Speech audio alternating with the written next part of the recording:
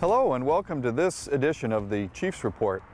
Well, you notice that it's springtime here in Lakeville, and one of the things that happens to come with springtime is dry roads, and people begin to open up their speedometers a little bit and are in a hurry to get home. Their windows are down, their sunroofs are open, and they're not quite paying attention to traffic laws. During my first year here in Lakeville, one of the things that I've noticed is the top complaint I get is people complaining about traffic. Traffic's going too fast, it's not stopping for stop signs, they're tailgating, they're distracted. So one of the things that I'm trying to do is address that through education in a variety of means. But one of the ways that we're doing that is through increased traffic stops. Just because you get stopped doesn't mean you're going to get a ticket. You may, but it doesn't mean you're going to because one of the things that we're trying to do is educate people that you're in someone's neighborhood. It might be a cut-through way for you to get home.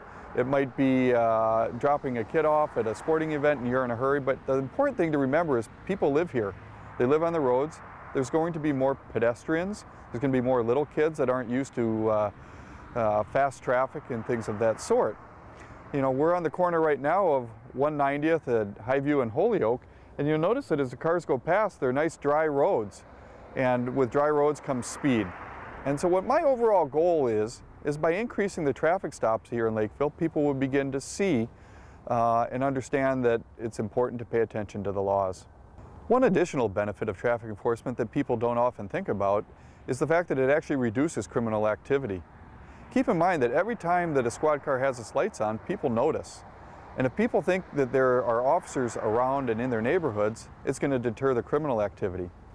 The other thing is criminals have to get to and from their location. Oftentimes when we stop cars, we're arresting people that may have a warrant, that might not have a driver's license, that uh, might have just broken into cars or committed a burglary.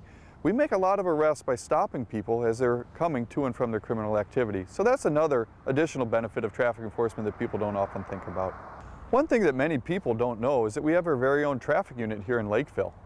If you have any questions or concerns or want to report an area that's a traffic problem, please contact Sergeant Jay Castingway, whose number is on your screen. Well, that does it for this edition of Chiefs Report. We'll see you next time.